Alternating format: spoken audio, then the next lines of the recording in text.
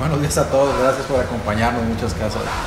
Caras conocidas y comprometidas. Y sin tanto rollo y, ya saben que me gusta hacer muy claro, darle la bienvenida a David. Y para que sea nuestro nuevo entrenador. David, todo el equipo de trabajo, toda la comunidad eh, nos acompaña en este, en este deseo de llevar a Dorados a lo más alto. Pues darte la bienvenida, darte la bienvenida. que hay un plantel fuerte, que hay un plantel vasto, que hay que ser muy meticulosos, muy cuidadosos para, para las incorporaciones. Me siento feliz, francamente feliz de, de venir a Culiacán, de venir a Dorados.